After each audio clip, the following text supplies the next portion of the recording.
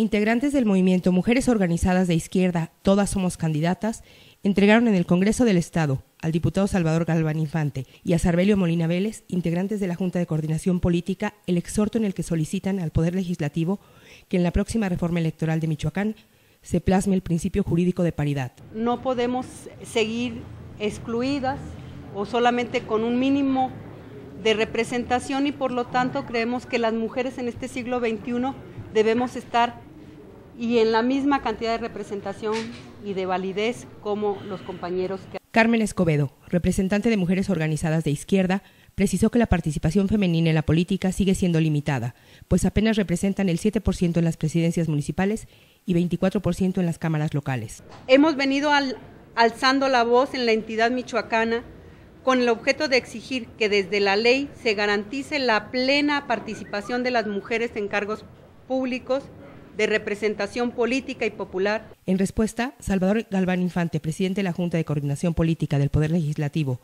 y coordinador del Grupo Parlamentario del PRI, dijo que invitará a sus compañeros diputados a que se analice a fondo el tema de la paridad. Habrá que ver qué es lo que está todavía pendiente y espero que la sensibilidad de ellos pues se atienda de acuerdo a las expectativas de ustedes y si no el Pleno también, que es la máxima autoridad dentro del el Poder Legislativo tendrá sus consideraciones en su momento. Por su parte, Sarbelio Molina Vélez, legislador de Nueva Alianza, se manifestó a favor de legislar para garantizar la paridad electoral. Yo les quiero decir que eh, estoy de su lado en el Partido Nueva Alianza en el proceso electoral federal pasado.